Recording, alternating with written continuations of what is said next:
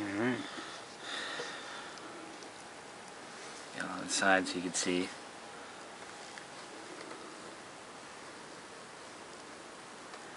Nice and smooth on the edges. Mm-hmm. Down the joint's pretty good.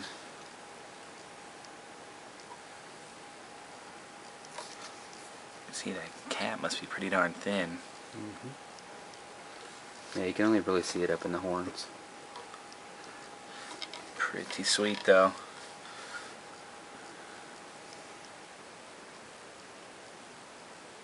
Oh shoot.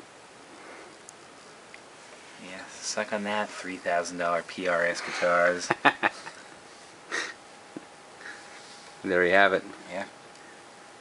The naked backed PS 900.